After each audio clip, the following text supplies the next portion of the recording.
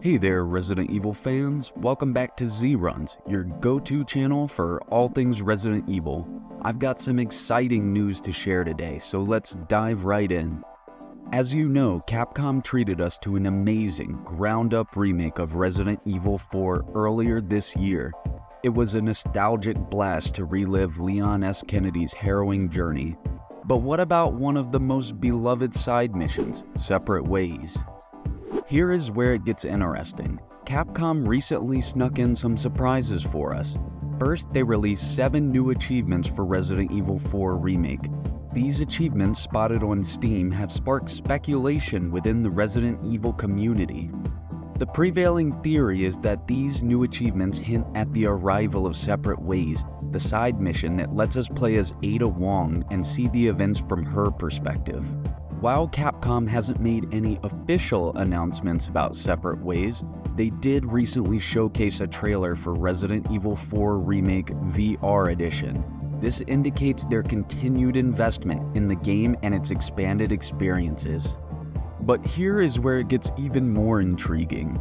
Data miners earlier this year were hard at work and stumbled upon a folder in the game's files called Another Order. Now, if you're familiar with the franchise, you'll know Another Order happens to be the Japanese title for the Separate Ways side mission. Let's put the pieces together, shall we? Capcom has a history of silently releasing achievements before announcing major DLC campaigns, just as they did with Resident Evil Village's Shadow of Rose. Could these new achievements be a precursor to the reveal of separate ways for Resident Evil 4 Remake? The similarities between these situations are hard to ignore. Capcom seems to be teasing us once again, building anticipation for an exciting new chapter in Resident Evil 4 Remake. Now I want to hear from all of you. What do you think about these mystery achievements and the connection to separate ways? Are we on the verge of another epic expansion of the Resident Evil 4 remake universe? Share your thoughts in the comments section below.